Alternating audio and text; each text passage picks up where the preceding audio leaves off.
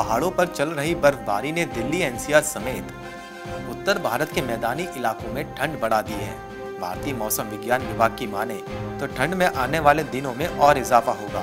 पहाड़ों पर हो रही बर्फबारी के चलते अगले कुछ दिनों में न्यूनतम और अधिकतम दोनों ही तापमान में गिरावट दर्ज की जाएगी।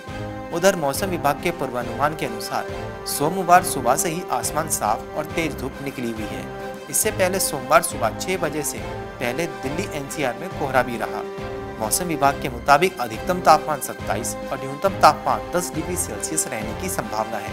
कुल मिलाकर आने वाले दिनों में ठंड का कहर और बढ़ेगा। हो सकता है कि दिसंबर के पहले सप्ताह तक शीत लहर भी दस्तक दे दे। गौरतलब है कि मौसम विभाग की ओर से पहले ही पूर्वानुमान जताया जा चुका है कि अगले सप्ताह जम्मू कश्मीर में मौसम करवट ले सकता है। इसके तहत कश्मीर में बर्फबारी होने की संभावना है। इसके साथ ही जम्मू में भी बारिश होने की संभावना बन रही है। ऐसे में मौसम साफ़ रहने के बावजूद हिमाचल प्रदेश में और ठंड बढ़ेगी। इस बार सर्दी लंबी चलेगी, क्योंकि ठंड समय से पहले पड़नी आरंभ हो चुकी है।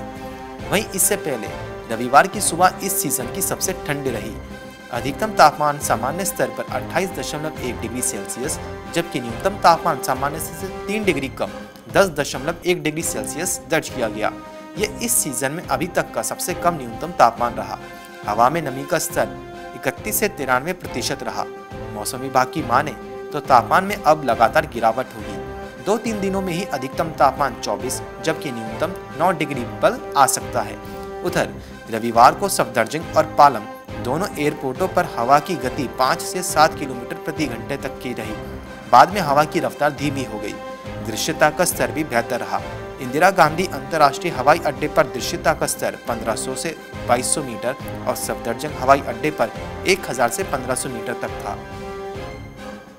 Report, market times, TV.